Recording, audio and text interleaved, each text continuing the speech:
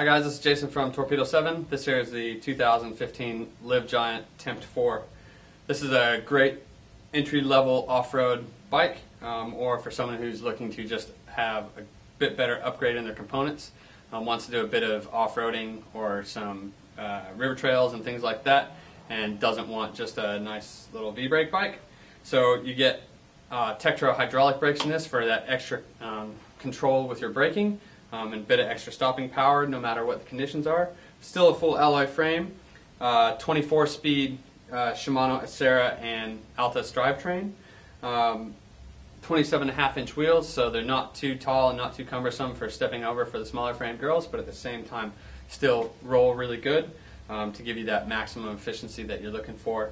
Um, all in all, a great entry level off road rec bike. It's a 2015 Giant Tempt 4.